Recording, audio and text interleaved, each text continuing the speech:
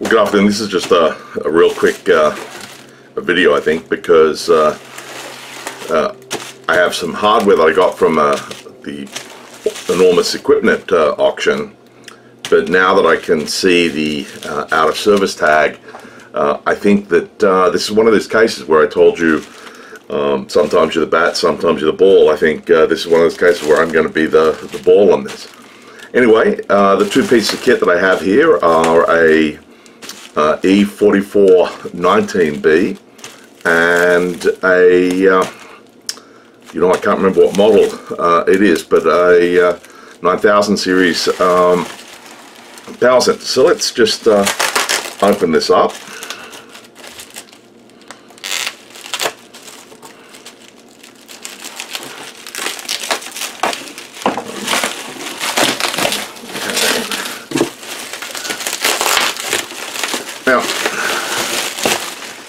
Reason I bought this guy, and here you can see the uh, the E4419B, uh, the reason I bought this is because it is basically a plug-in replacement for the uh, 438A. Uh, and um, you can see that uh, uh, these guys are um, you know, you plug in your two cables there.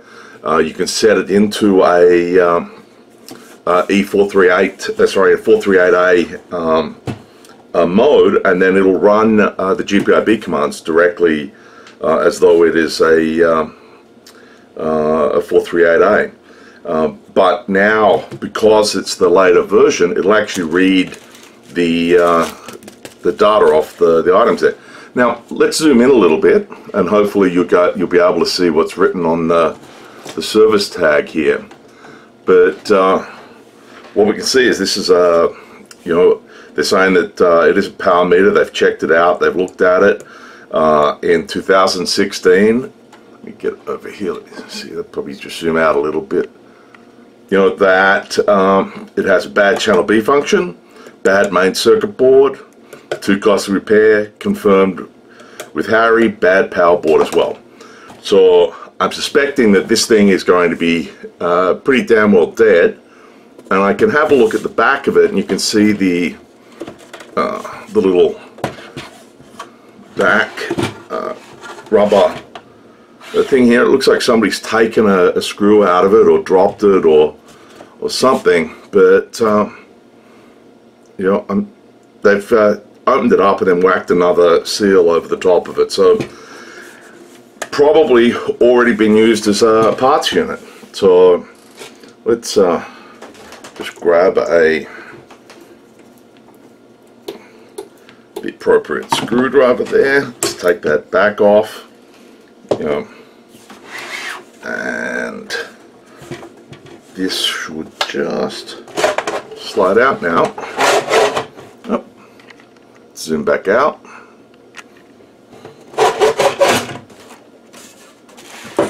Let's take a look what we're going to get uh, inside here. Yep. We can see the uh, uh, system is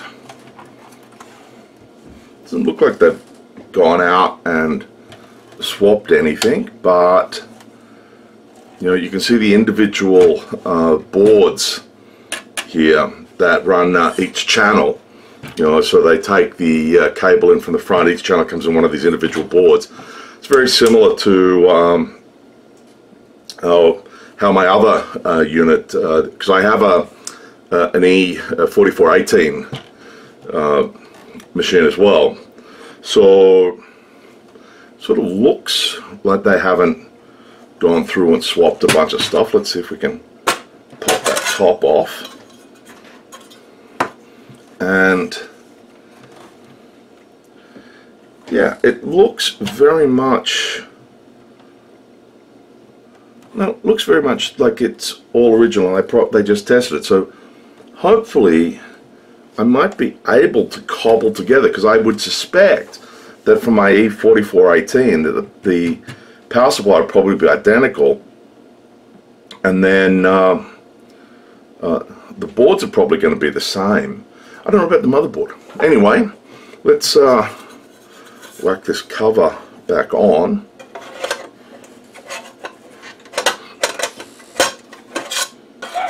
Sorry. It's my my alarm system is just going off. Hang on.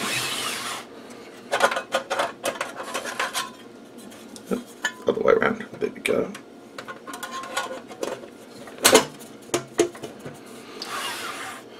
Okay, so let's uh, plug it in and see what happens. Okay. Oh, we got a light there.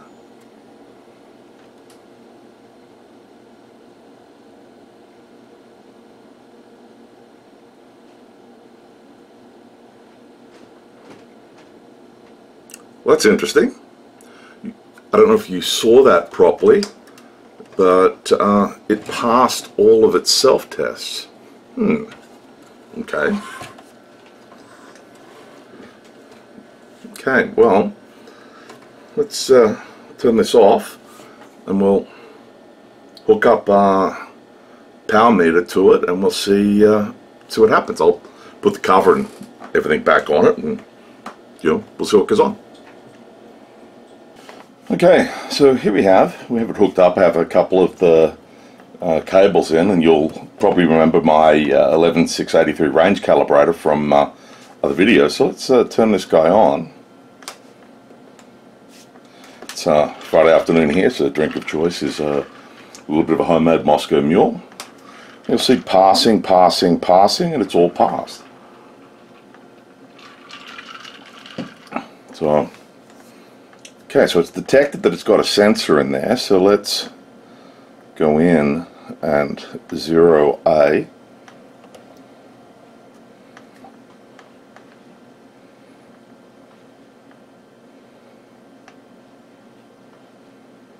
Okay, now I have it set to 0 dBm here.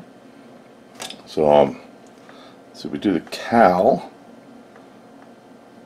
and then uh, I think 100 is right. I'm not sure. I'd have to check to see uh, how you put it in a special mode um, for the 438A to work with this. So I don't know about this. I'll have to read the manual. But let, us just, you know, uh, let's just go with that for the moment. And let's turn the calibrator on. Okay. 0 dBm.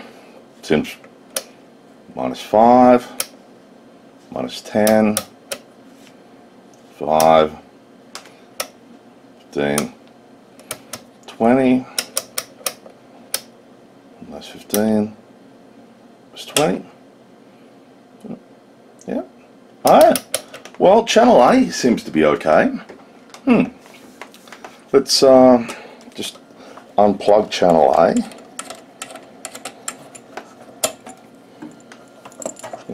take uh, channel B here. Let's put channel B in.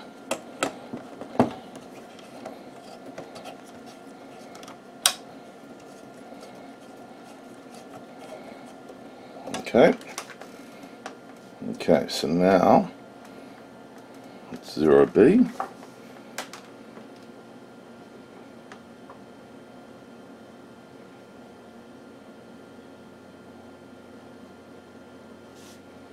Let's turn it on. You know what? That's 5, 10, 15, 20,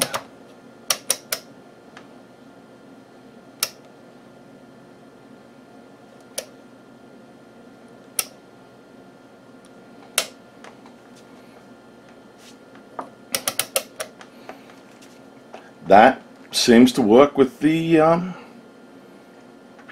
um, range calibrator. So you don't know. I might be uh, a little bit more of the the bat than the ball in this particular case. Hmm. Okay. Let's try it with a sensor. Let me set that up. Okay, so now we have it set up again. Uh, this time what we have here is uh, E9301A uh, power sensor and this uh, power sensor I've had uh, calibrated by Keysight So I'm not necessarily guaranteed because these are an open loop systems, so it all comes down to the, to the accuracy of that uh, power ref. But here we go.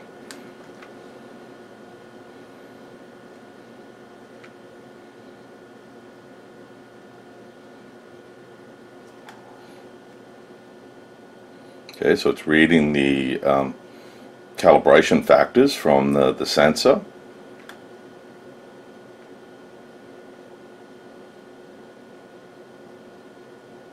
Okay, so now what I want to do is I want to uh, go in here, I'm going to put this on the power reference. There we go. And now it's zero, and we'll zero A.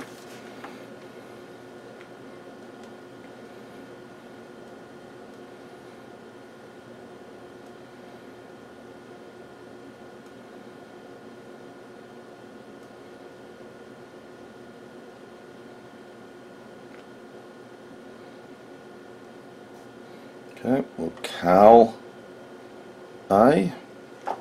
And you notice how it doesn't list the cal factor because it can read that straight from the thing and you'll see that the actual power reference slide has come on. So now we're calibrated. So now I have my uh, 8657B uh, with a 1 gigahertz signal coming out at minus 15 dBm and so that's on uh, uh, this connection here.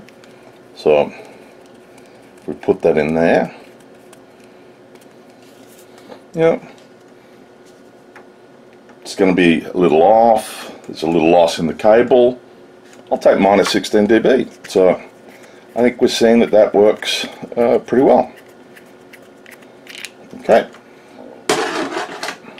Let's uh, swap this.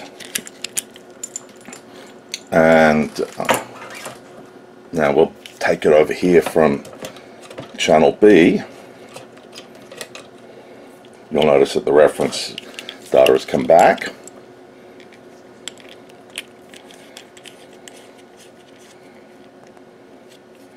So we'll zero and calibrate again because we're on a different channel so we want to make sure it actually zeroes with a sensor. Okay, so it read all that, so it's zero, zero B.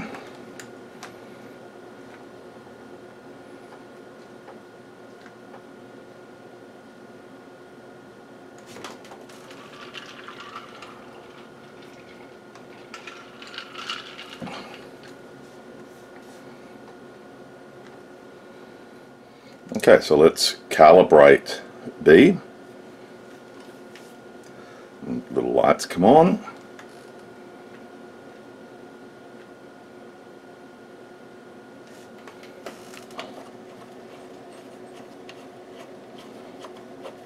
Oh, I forgot to set the, did I set the frequency when I checked um, channel A? I'm not sure I did. Okay, let's set the frequency. B frequency and we're going to make it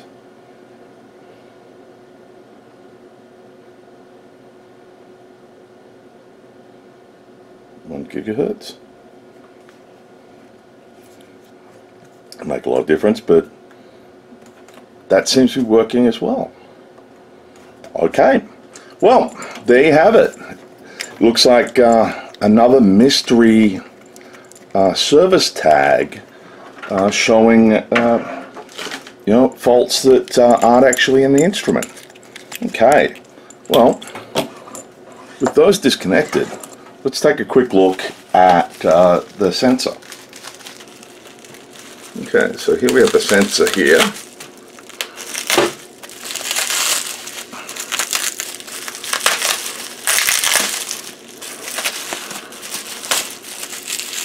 Now, partially the, the reason I wanted to get this sensor, let's open it right up, was that um, this sensor is uh, a 4412, but um, it actually goes, if you see, if we can zoom in a bit, you'll see it goes from 10 meg to 18 gigahertz. Whereas uh, this guy's a very good sensor, but it goes from 10 meg to 6 gigahertz. So I had a little bit broader range on this guy uh, uh, for working on some stuff. So um, now I can, um, if we also have, this guy will load in the uh, cal factors here. So, you know, doesn't have any markings on it that are showing that uh, it's dead or anything. It was due for a calibration uh, December on the 16th in uh, 2016 so alright well let's uh, plug it in see what it does. Okay so I have it uh, plugged in now so let's uh, turn the meter on. I didn't need to turn it off to change the sensor heads but I want to see if it uh, boots you know if it's maybe there was a partial boot problem or something but it's reading the sensor.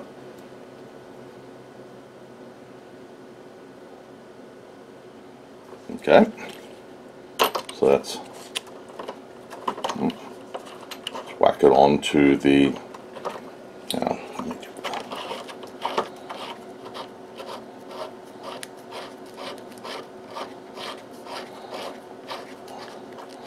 Okay, so we got it onto the reference there, so it's 0A.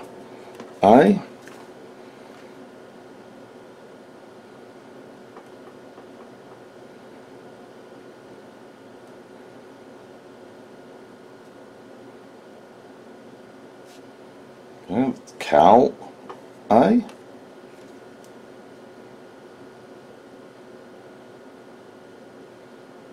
Okay.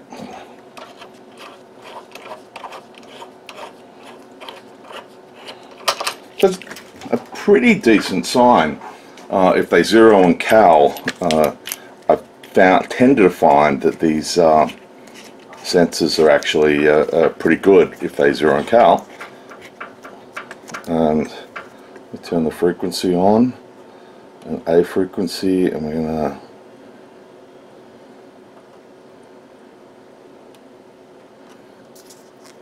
that again I'm willing to give that uh, give that a pass. Let me, you know, so that's at one gigahertz. Let's uh, let me see. Turn on one of my uh, uh, uh other signal generators and try and get a signal that's a little higher.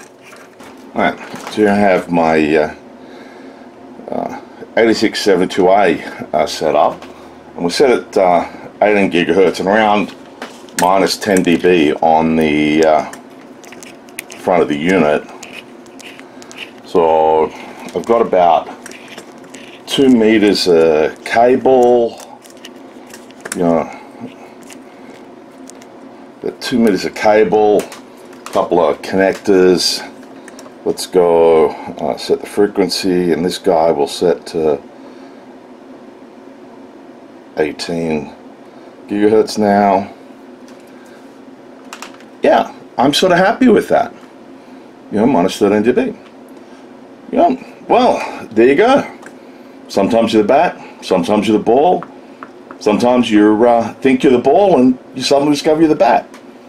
Sometimes you uh, realize that that's a silly analogy and you need to get a better one. Anyway, uh, we'll do a, uh, another look-see at this and maybe a, try a bit of a calibration with uh, the range calibrator and that just to make sure it all uh, heats spec. but overall, pretty happy with it. Hopefully the next video will be me getting back to my E4406A now that I'm back in country and uh, we can see if I can get that uh, damn uh, relay fixed. Alright, liked it, give it a thumbs up and I'll catch you again later.